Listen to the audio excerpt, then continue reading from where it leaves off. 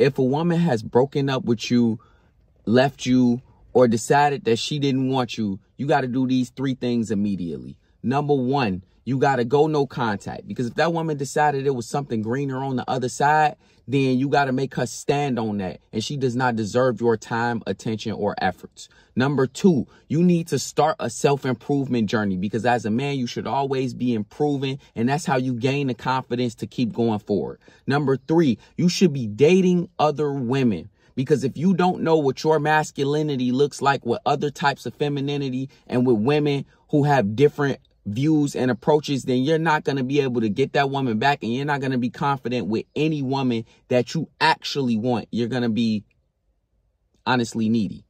So